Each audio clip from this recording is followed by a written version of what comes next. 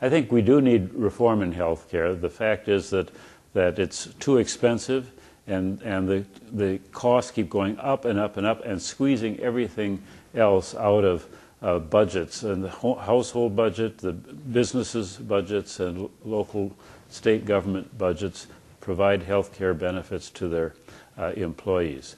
I, am very concerned that we maintain the doctor patient relationship and that have a patient centered uh, healthcare system rather than a government or provider centered healthcare system. And that we also continue the trend, which has started and been successful in Wisconsin, of moving to, toward wellness uh, uh, maintenance uh, rather than uh, dealing with illness after uh, it's occurred. If we can engage in, in healthy lifestyles, promoting and counseling people to deal with uh, potential problems before they turn into serious health issues, can save everyone an awful lot of money and, in fact, uh, improve uh, quality of life.